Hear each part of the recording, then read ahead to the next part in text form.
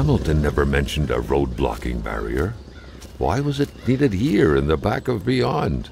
That would, however, be a mystery for another day. Carl had waited long enough for someone to come and raise it.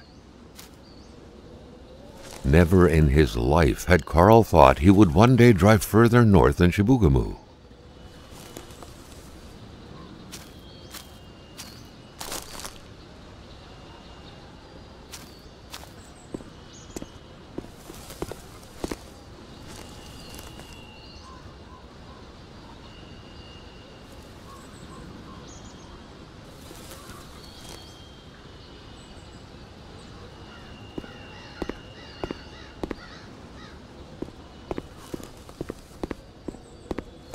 There always comes a time when it's just too late to change your mind.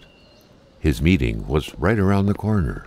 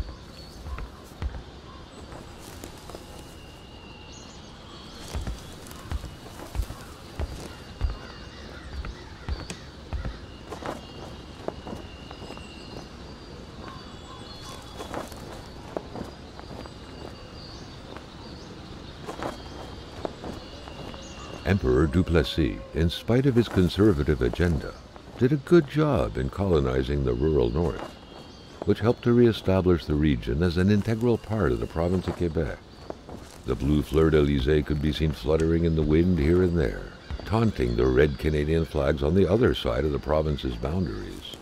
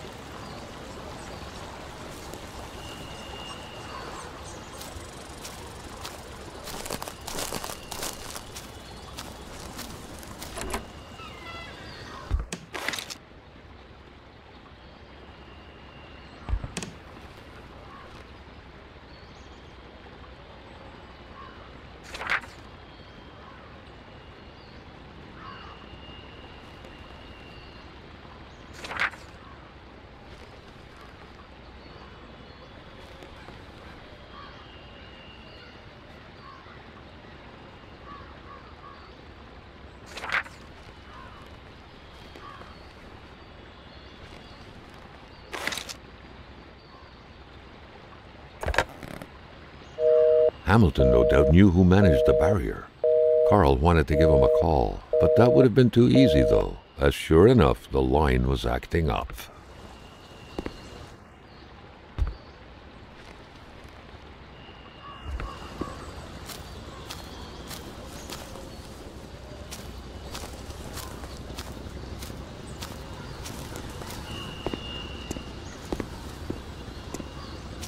Carl was meeting his client in a store near this area. He was on the right track.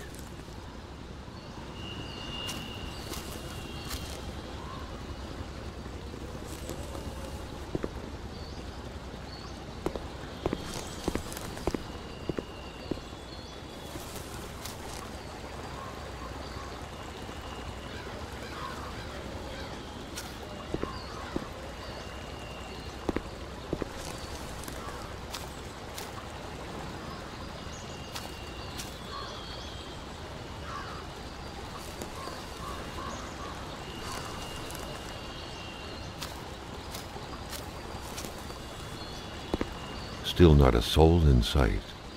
There was no point in waiting any longer. Carl had to figure this one out by himself. Hamilton is waiting for Carl in the general store. It was time for him to get down to business.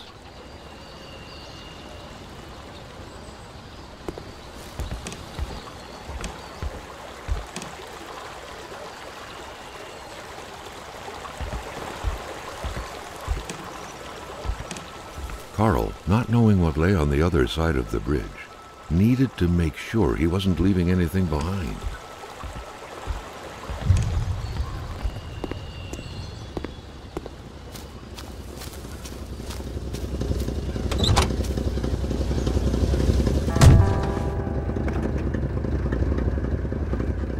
William Hamilton enjoyed a lavish country house built in the very heart of the northern forests, not too far from here.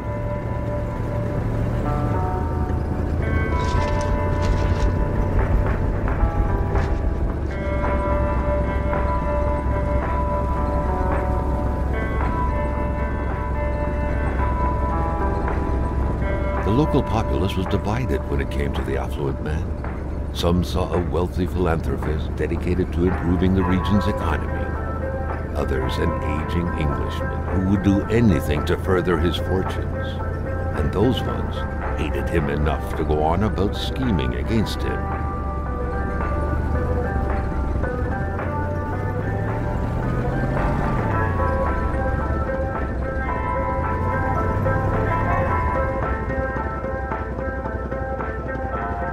Military training had made him a very punctual man. Being late to his meeting with Hamilton was out of the question.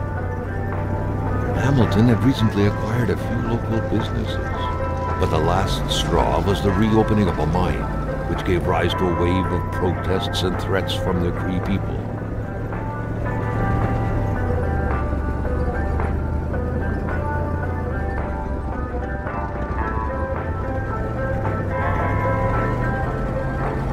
These circumstances, Carl reckoned that a good number of people must be feeling compelled to oppose Hamilton in one way or another.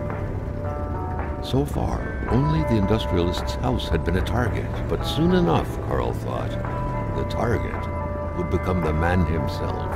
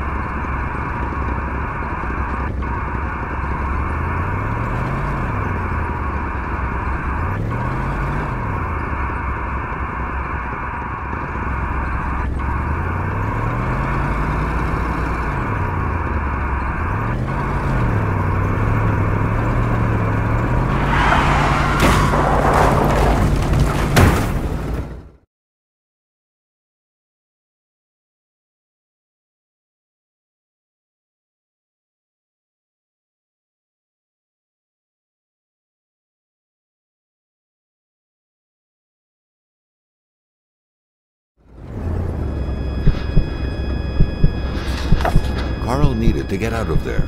The cold and the pain required urgent care.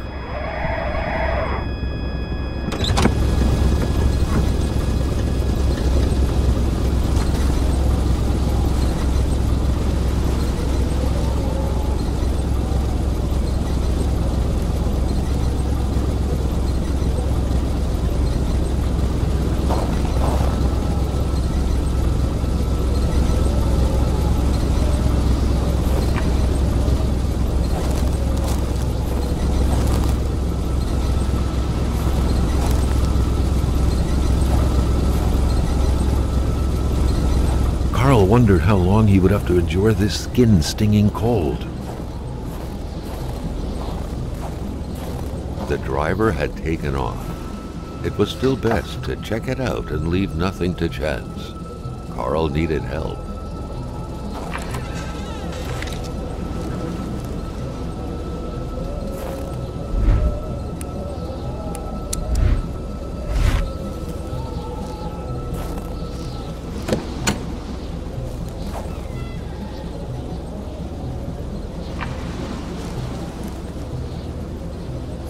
It was a small, locked box engraved with the letters W.H. Carl thought about taking it. Nothing was to be left to chance.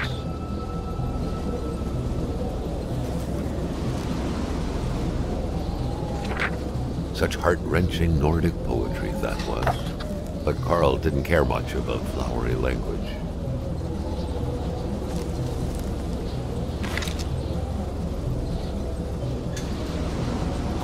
This deep in the country, his last hope was to find an abandoned garage or a farm by the roadside. His life depended on it.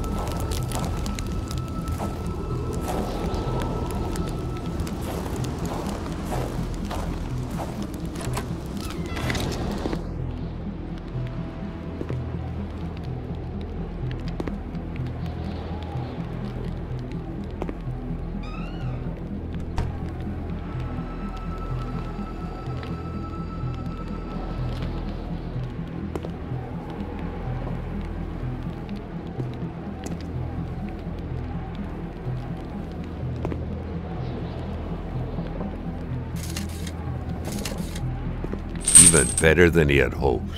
Carl Faubert had succeeded once more and was now on his way to new adventures.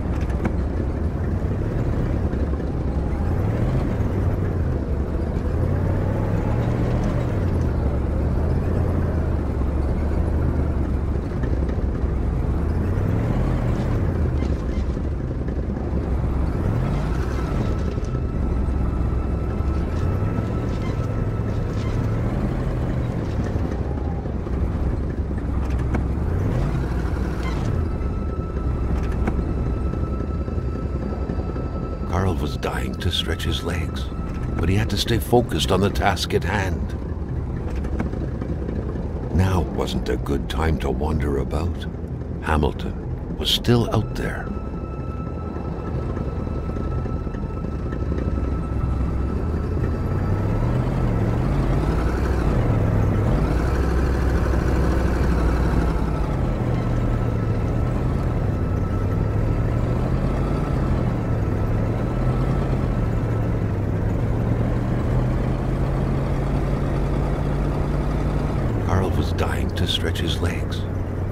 Stay focused on the task at hand.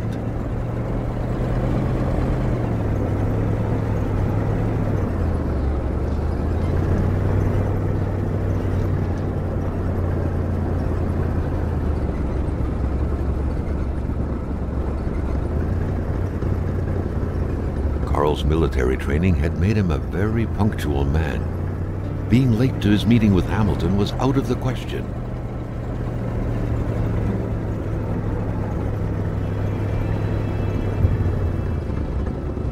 Spread out on a few acres of untouched forest, bellowing caribou, everlasting snow, and undefiled lakes. The Manastan region was no tourist hub. It was said to have been populated for millennia by Cree people, and ever since the industrial era, by the metal mining industry.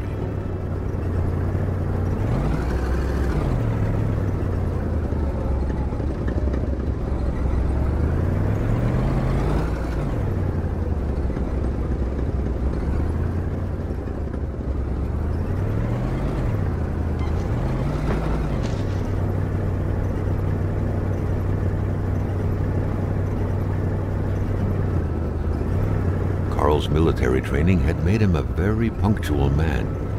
Being late to his meeting with Hamilton was out of the question.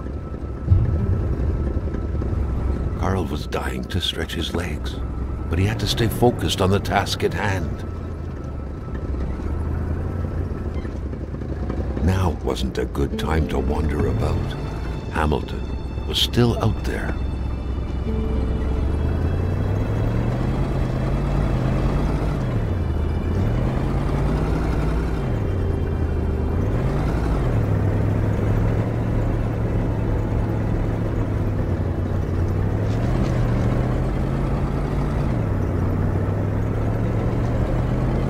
Carl was dying to stretch his legs, but he had to stay focused on the task at hand.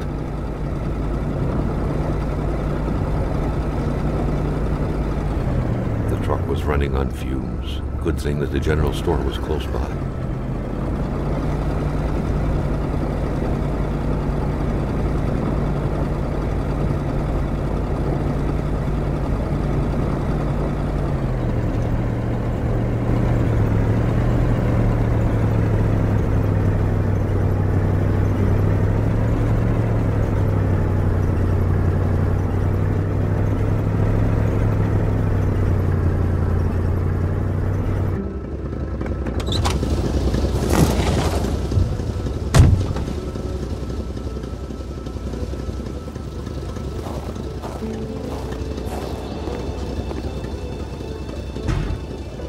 Something fell to the bottom of the box.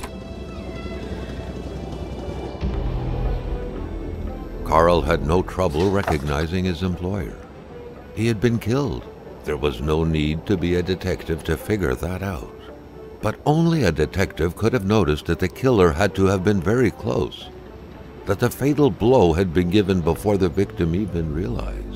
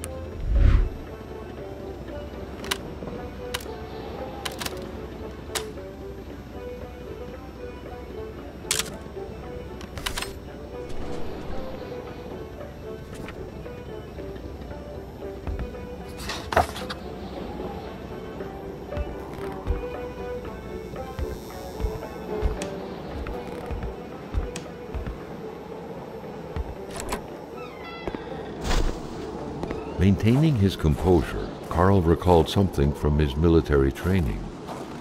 Wolves always stay away from populated areas. Wait, was it about bears?